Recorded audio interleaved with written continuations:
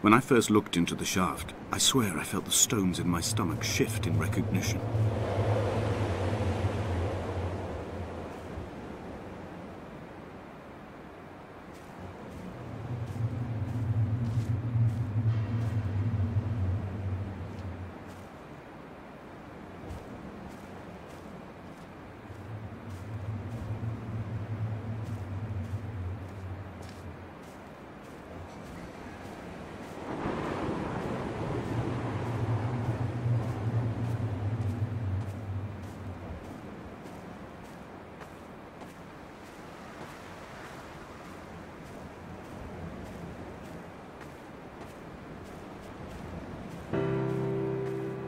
I've begun to climb, away from the sea and towards the center.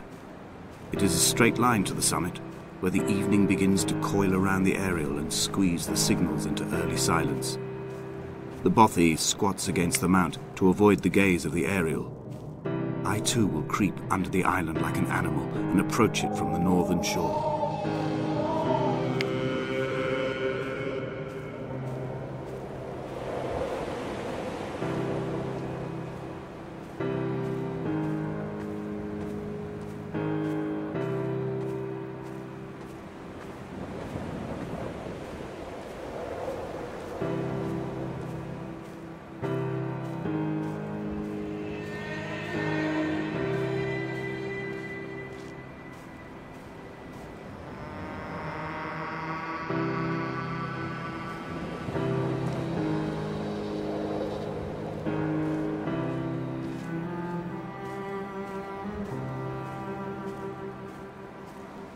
Bothy was constructed originally in the early 1700s. By then, shepherding had formalized into a career. The first habitual shepherd was a man called Jakobson from a lineage of migratory Scandinavians. He was not considered a man of breeding by the mainlanders.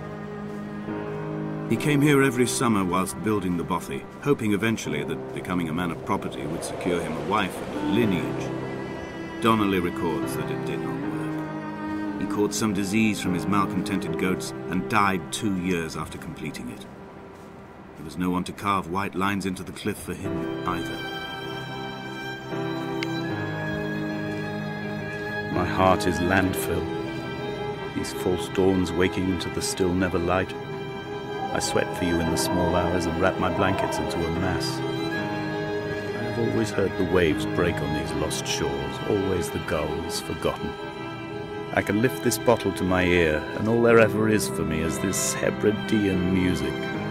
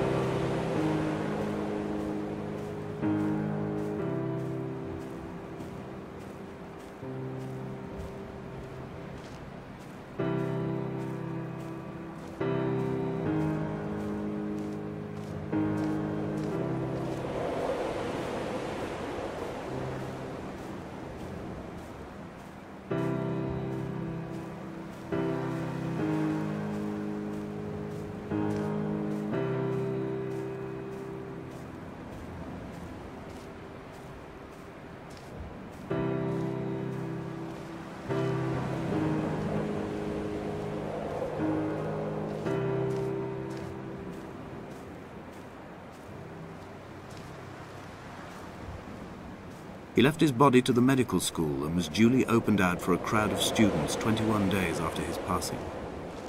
The report is included in my edition of his book. The syphilis had torn through his guts like a drunk driver, scrambling his organs like eggs on a plate. But enough definition remained for a cursory examination, and, as I suspected, they found clear evidence of kidney stones.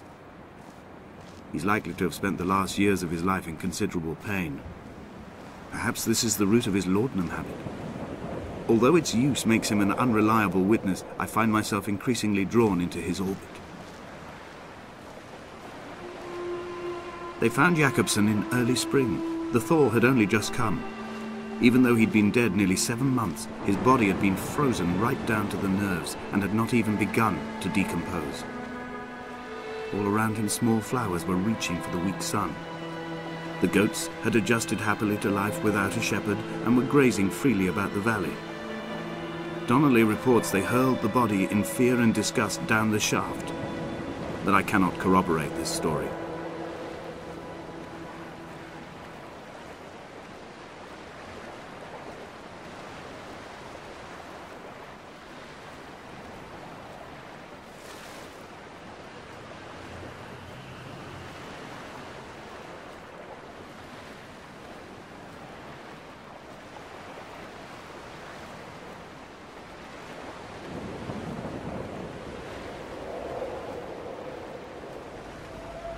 Climbing down to the caves, I slipped and fell and have injured my leg. I think the femur is broken. It is clearly infected. The skin has turned a bright, tight pink, and the pain is crashing in on waves, winter tides against my shoreline, drowning out the ache of my stones. I struggled back to the bothy to rest, but it has become clear that there is only one way this is likely to end. The medical supplies I looted from the trawler have suddenly found their purpose. They will keep me lucid for my final ascent.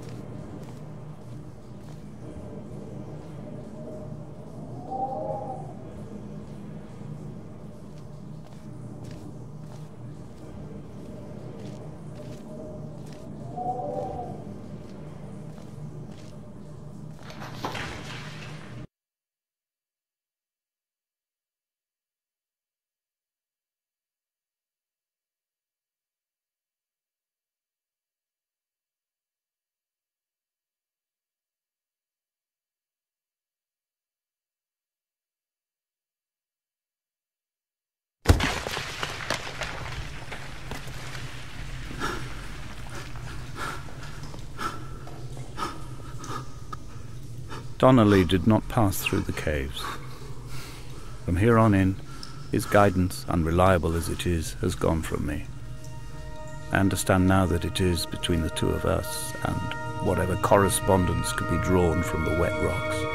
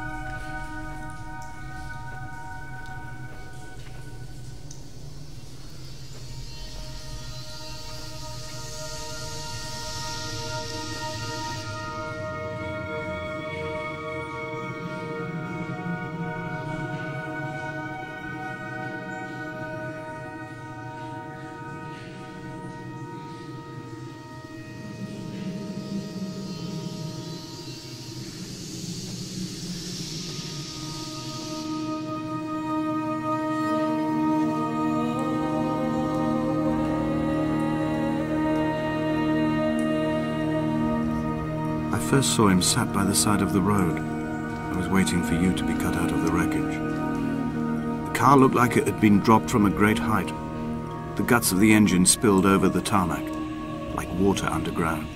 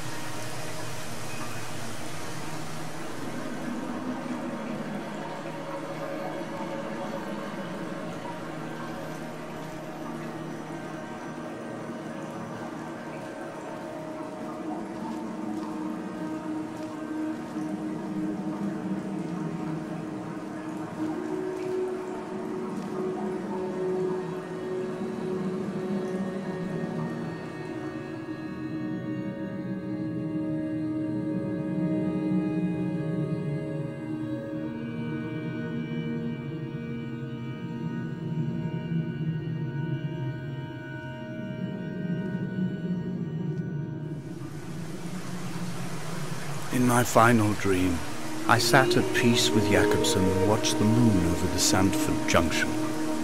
Goats grazed on the hard shoulder, a world gone to weed and redemption. He showed me his fever scars, and I mine, between each shoulder the nascency of flight.